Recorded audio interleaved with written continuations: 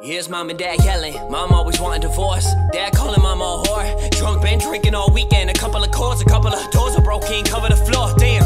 He's always told never to tell. If anybody finds out, hope he put in a cell. Hit with a belt, there will be nobody to help. And so he prays every day while he's stuck in this hell. All to himself, he holds every ounce of it in. All the kids who have things always laughing at him. All the teachers sees pain, but he's playing pretend. Playing with friends is something he wishes he can. But nobody wants to give him a chance. Nobody wants to be with a the future, but the future is so far in advance. Looking at the alcohol in his hand, like damn, like why? Why God?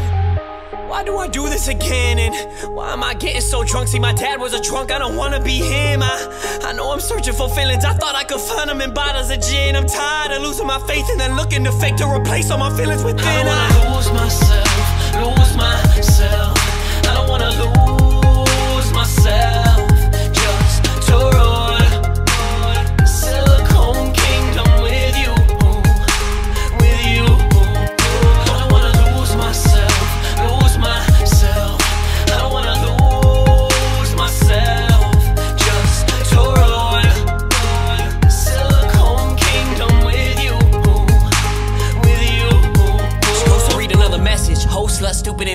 She doesn't know how much she can take. She's looking at her body, it's a body that she plans to replace. Fake, everything all over her face. Fake, smile leads up to her lashes. Never been asked about passion, only been asked about passing a blunt to the left or a pick of a chest called a bitch in a mess. She's a wreck, waiting for a text from a guy who tell her that he love her, but he wanna see her cry. Who tell her that he love her, but he beat her every night with a pipe out of spite. She might leave him for a guy with a tie and a job, a mic or a rhyme.